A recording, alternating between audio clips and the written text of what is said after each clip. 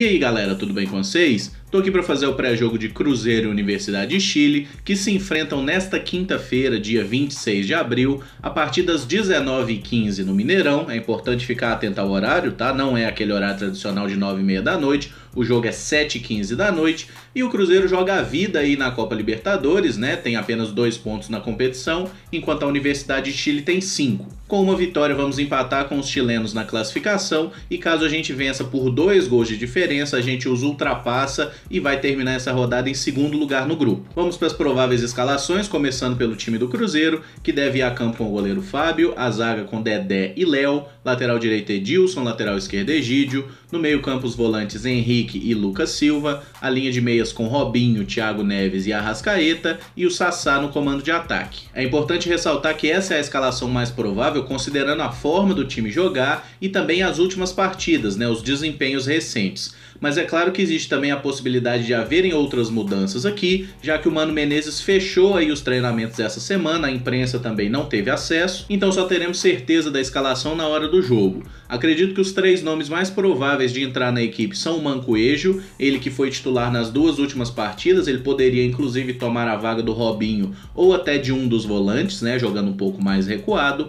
O Rafinha, que é um jogador de velocidade pelos lados, pode jogar tanto pela esquerda quanto pela direita, foi titular lá no Chile jogando inicialmente pela direita e no segundo tempo, após algumas mexidas, foi jogar do lado esquerdo. Acredito que ele ficará como opção de banco, mas também não vou me surpreender se ele for titular aqui na vaga do Robinho. A outra opção é o Raniel, atacante que disputa posição com o Sassá, ele que foi informado que estaria liberado pelo departamento médico essa semana, mas a gente não tem certeza se ele está treinando ou não, justamente porque os treinos têm sido fechados. Mas é bem provável que ele esteja entre os relacionados, acredito que não vai começar jogando, mas deve ser pelo menos opção do banco de reservas, ok? Já a Laú, né, Universidade de Chile, deverá ir a campo com o goleiro Johnny Herrera, a zaga com Vilches, Echeverria e Rara, a linha de meio campo com o Rodrigues como ala direito, o Reyes como primeiro volante, o Pizarro, meio campista que sai mais para o jogo, e o Boceju, que é um meia ala pelo lado esquerdo, mais adiantado o Arauz, que é um meia atacante que deve jogar mais pela esquerda, o Soteudo, que se aproxima um pouco mais do centroavante e atua mais pela direita, e o Pinija, que é o homem-gol da equipe. A Universidade de Chile também não vive grande momento, inclusive perdeu por 6 a 1 no campeonato chileno na última rodada, né, a partida no domingo,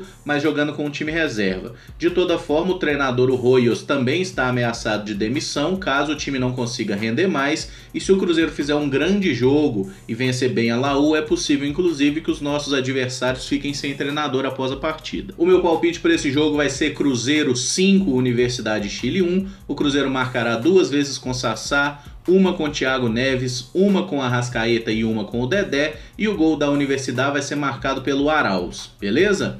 Bom galera, se gostou do vídeo deixa o like aí, se inscreve no canal caso não seja inscrito, usa os comentários para manifestar as suas opiniões, também deixar seu palpite para o jogo. Muito obrigado por acompanhar, um abraço e até o próximo vídeo. Valeu!